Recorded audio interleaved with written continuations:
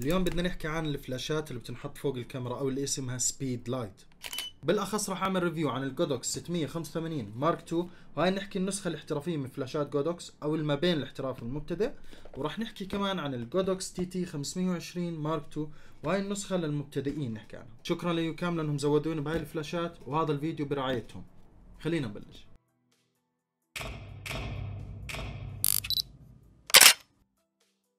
هلا كلمة speedlite هي تطلق على الفلاشات اللي بتنحط فوق الكاميرا إذا كانت من نوعية Canon أو نيكون فال Godox مسميين فلاشاتهم اللي بتنحط فوق الكاميرا Thinklite وهذا الإشي راح تنتبهوا له بكل فلاشاتهم اللي بتنحط فوق الكاميرا.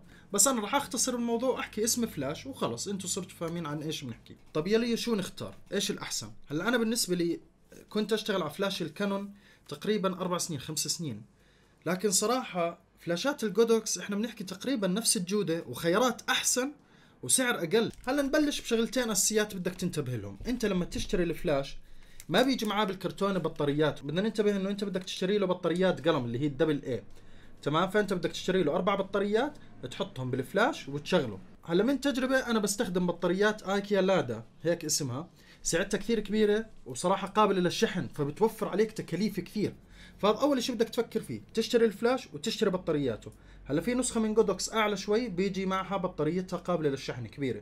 بس أنا استخدمت هذا الشيء لأنه بشكل عام ممكن هذا أكثر شيء أنت تحتاجه كمصور. وأتوقع صراحة أنه هي أنسب لأنه إذا أنت عندك بطارية واحدة بس للفلاش إذا فضيت خلص ما بتقدر تبدلها بتضطر إنك تشحنها وتشتري بطارية ثانية. لكن هاي البطاريات إذا فضيت أنا جايب 20 بطارية تقريبا للحفلات في حالة طارئة يعني إذا فصلوا. فخلص إذا فضيوا ببدلهم وبخلي هذولاك البطاريات على الشحن. والحمد لله عمري ما انقطعت منهم. وتقريبا كل الفلاشات اللي هو ال Godox ال Canon ال Nikon كلهم بيستخدموا البطاريات القلم هاي. فانت مكتوب جوا خلص بتفتح في هون الموجب السالب وهيك بصير جاهز للاستخدام. فانت بتسكر المدخل وخلص هيك الفلاش صار جاهز للاستخدام. هون بعطيك أخضر أو أحمر حسب الفلاش إنه جاهز للاستخدام. فإذا بكبس هون على كبسة ال test الاختبار معناته هي شغال كل شيء تمام هلا بالنسبة لطريقة تركيب الفلاش على الكاميرا كل الكاميرات في لها مدخل من فوق هيك حديد أو stainless steel يسمى hot shoe هيك اسمه. فال hot shoe هو عبارة عن منطقة بالكاميرا حديد بتركب عليها إكسسوارات تصوير زي الفلاش زي الميكروفون إضاءة الفيديو شاشة إلى آخره. فأنت بتجيب الفلاش وبتدخله على ال hot shoe وهيك بصير جاهز للاستخدام. فيش داعي تكبس أي شيء على الكاميرا ولا على الفلاش. خلص مجرد ما شغلت الفلاش والكاميرا هيك الفلاش جاهز للاستخدام. فأنت بتأخذ الصورة خلص بيشتغل الفلاش مباشرة. لكن بيظل عليك خطوة بسيطة إنه الفلاش ممكن يسحل أو يوقع من ال hot shoe فلازم أنت تثبته بزر الأمان. هلأ من كل فلاش بيختلف للثاني. فمثلا على هذا الفلاش لازم أنا أكبس على هاي الحلقة وأشدها لليمين وهيك بيسكر عليها. هلأ في فلاشات ثانية النظام مختلف عليها. في هيك دائرة بدك تظل تلفها عبين ما يسكر على ال hot shoe وهيك بثبت الفلاش بمحله على الكاميرا. طب يا ليو شو بالنسبة للفلاش إنه راسيته بتتحرك لفوق أو بتتحرك لليمين أو ممكن تلف لورا؟ كيف أنا ممكن أصور إشي قدامي والفلاش عم بيضوي وراي؟ شو الاستفادة منه؟ هلأ حركة الفلاش هاي هي حل لمشكلة فخلينا إحنا نفهم شو المشكلة حتى نفهم شو الحل. الموضوع بكل بساطة أو المشكلة بكل بساطة إنه لما الضوء يكون كثير قريب من الكاميرا أو من العدسة والتضوية على وجه الموديل بيعطي إضاءة غير محببة. الوجه من النص بيكون ضاوي الظلال على الوجه بتكون على الداير ظلك بيطلع على الخلفية وهذا نوعا ما غير محبب وغير احترافي. وغير هيك لأنه الفلاش حجمه كثير صغير فبيعطي إضاءة وظلال حادة جدا على الوجه. فواحدة من الحلول البسيطة خصوصا لمصورين حفلات إنه إحنا بنقدر نرفع الراسيه لفوق لسبب إنه بنضرب الضوء على السقف. فلما نضرب الضوء على السقف بصير مصدر الإضاءة أكبر وبصير أنعم. هذا اولا. وثانيا بتصير الإضاءة من فوق على الموديل وعلى الناس الموجودة بالحفلة فبتصير الإضاءة من فوق والظلال لتحت وهذا إشي جمالي أكثر وبإضاءة البورتريه بنسميها إضاءة الفراشة انه لما تكون ظلال الوجه لتحت وموزعة بالتساوي. فهذا سبب إنه إحنا بنرفعه لفوق. طب يا ليش بنلفه لليمين الفكرة إنه إذا أنت بدك تصور بالطول يعني أنا إذا بدي أمسك الكاميرا بالطول لازم الفه لليمين طب ليش بدي الفه لورا يا ليو؟ يعني هذا إشي مش منطقي الموضوع بسيط حبيبي. إذا أنت عم بتصور بمكان مفتوح ما فيه سقف لكن في حيط وراك ممكن تستخدمه لتشتيت مصدر الإضاءة وتكبره. فبلف الفلاش وراي يضرب على الحيط وبصير مصدر الاضاءه كبير والحيط هو اللي بيضوي على الموديل فبتصير الإضاءة أنعم وأجمل للوجه. هلا نظام الطاقة بالفلاشات وحدة القياس اللي هي بالأرقام جزء من الواحد. فمثلا إذا أنا بدي إياه يعطيني أقوى شيء بالفلاش بخلي قوته واحد على واحد يعني full power هلا إذا بدي أضاعف قوته للنص بنزلها بخليها واحد على اثنين النص واحد على أربعة الربع والثمن واحد على 16 واحد على 32 وهكذا عبين ما يضعف آخر شيء بالفلاش اللي هو واحد على 256 درجة. وممكن ما يكون في شاشة أو أرقام مثلا زي هذا الفلاش TT 520 موجود فيه درجات انه كل درجة أقوى الضعف من الدرجة اللي قبلها.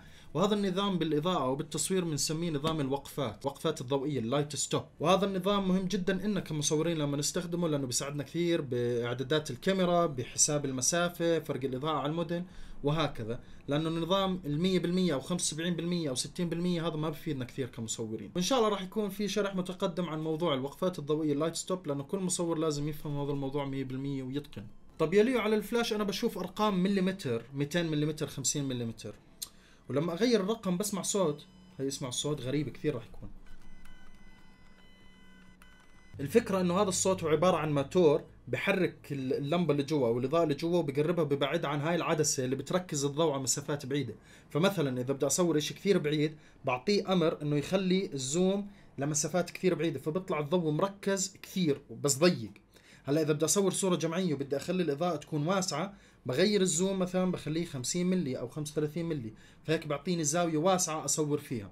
هلا عادة عادة الفلاشات الاحترافية حسب ال zoom عندك على العدسة لحاله بتغير zoom الفلاش بتقدر تشغل هاي الخاصية. فمثلا أنا بقدر أعمل zoom هون ويتوصل آه، الكاميرا تحكي للفلاش إنه أنا عم بصور على عدسة zoom يعني بدي أصور شيء كثير بعيد فغير لي ال zoom تاع الفلاش. بس هاي الخاصية مش كل الفلاشات موجودة وصراحة بتفيد للشغل نوعا ما. هيك تقريبا شرحنا بشكل عام الخصائص الأساسية لأي speedlight أنت ممكن تشتريه هلا بدي أشرح عن خصائص احترافية موجودة بال speedlight اللي بيكون سعره أعلى شوي. نبلش بأول خاصية اللي اسمها ال أو مرات بتكون ال بس هاي الثلاث أحرف. هاي الخاصية المقصود فيها أنه الفلاش بحدد كمية الإضاءة اللي طالعة منه أوتوماتيك حسب المشهد. هلا هاي الخاصية حل مشكلة. فخلينا نشوف إيش هي المشكلة. بالفلاشات العادية لما تيجي أنت تصور انت بتحدد قوة الفلاش زي ما انت بدك. فانت بتقول له بدي مثلا 50% من قوتك تشتغل. فبتيجي بتأخذ الصورة بس تكبس. بيعطي إضاءة 50% بس وين المشكلة؟ هاي ال 50% ممكن تكون الإضاءة كثير على المشهد أو كثير قليلة. فهنا مشكلة انت صفيت بدك تشوف الصورة. بعديها تظبط إضاءة الفلاش بعدين ترجع تأخذها.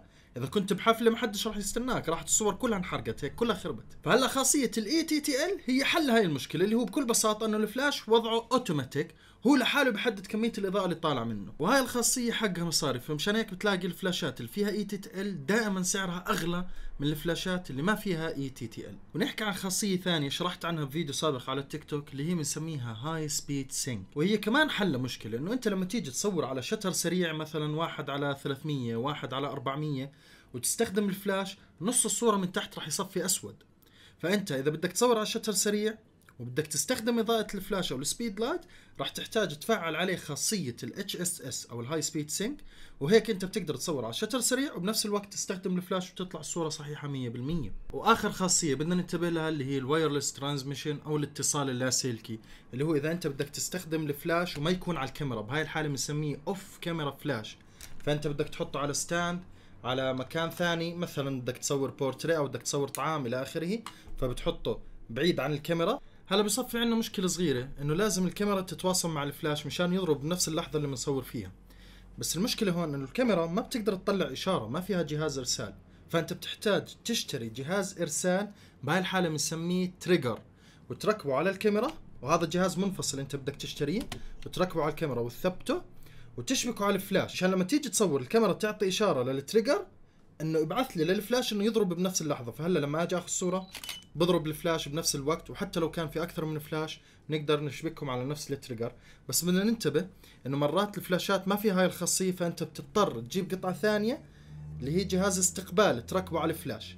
هلا اللي أنا حابه من Godox إنه فلاشهم ال TT520 بيجي في trigger بالكرتونه تاعته منه فيه يعني بتوفر على حالك حق ال trigger هو بسيط جدا مش زي هذا ال trigger الاحترافي. راح نشرح عنه بفيديو لاحق يعني. مثلا هذا بقدر أتحكم فيه بأكثر من فلاش شاشته بتضوي بتحكم بقوتهم إلى آخره. هذا بس فيه كبسة. بس فكرته بسيطة جدا إنه أنا بس بدي أستخدم off camera flash بدي أثبت ال trigger على الكاميرا. وبحط الفلاش على stand أو بثبته بأي مكان مثلا بدي أثبته هون. بعديها بستخدم هذا ال trigger وخلص باجي بصور. بس صفت إنه إذا بدي أعدل على قوته لأنه ما فيه TTL وما بقدر أتحكم بقوته من ال trigger لازم أروح أنا نفس الفلاش وأقول له أنا بدي إياك أقوى بدرجتين بثلاث درجات وأرجع أصور. فأتوقع فرق التكلفة هون بتصفي إنه أنت شو محتاج؟ أنت محتاج آه، trigger احترافي طبعا لأنه هذا تكلفته عالية كمان بدك تشتريه لحاله. آه، بدك بس إشي تتدرب عليه كبداية كمصور مبتدئ كمصور منتجات مصور طعام آه، ولا لا؟ بدك إشي للحفلات وبنفس الوقت لتصوير البورتريه والطعام. فخليني أعطيك الملخص. إذا أنت حاب تصور حفلات أنت محتاج فلاش فيه ال E-TTL ضروري جدا لأنه من دونه راح راح تعجق بالحفلة راح تأخذ صورة تطلع إضاءتها زيادة أو قليلة وراح تخرب عليك كثير. فمن هسه بدك تصور حفلات بدك فلاش فيه خاصية ال E-TTL إذا ما بدك تصور حفلات وبدك تصور طعام أو منتجات هذا رهيب جدا الفلاش اللي هو TT 520 Mark 2 وبيجي ال trigger معاه في كرتونته جاهز. فانت هيك وفرت حالك كثير. وبتقدر تشتري فلاشين تتدرب عليهم بس بنصحك إنه كمان تشتري معاه stand لأنه بدك تركب الفلاش على stand و umbrella لأنه الضوء لحاله ما بكفي. فهذا الأوفر موجود أصلا عند يوكام. يوكام عندهم آه اللي هو TT520 مع ال trigger ومع stand مع umbrella مع قطعة بتوصل الستاند بالأمبريلا اللي هي بنسميها ادابتر هذا كل الأوفر موجود عندهم وفي خصم خاص للطلابي أظن تكلفته 75 آه، دينار 80 دينار اللي هو هذا الأوفر كامل غير الخصم تاع طلابي. تمام؟